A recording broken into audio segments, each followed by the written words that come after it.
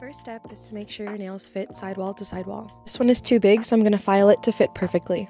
If your extensions don't fit perfectly on your nail, it's not going to last as long. Next, I'm pushing back my cuticle so that I can remove it with cuticle nippers. This will also make them last long.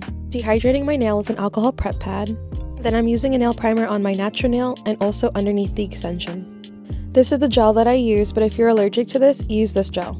Apply the gel as a base coat on your natural nails and then cure for 30 seconds. My biggest tip is to get a mini lamp, using the same gel to do a thin coat under the extension, then I add extra gel at the bottom to fill in the gap. Apply these extension at an angle and then push down and then go under the mini lamp. This mini lamp is motion sensor so it works really well. Once your nails are on, do a final cure for 30 seconds. I like to round out the tip and then buff the surface. I'm using two coats of my favorite pink gel. Always clean up the sides with a flat brush and acetone. I'll use a liner brush to get really close to the cuticle.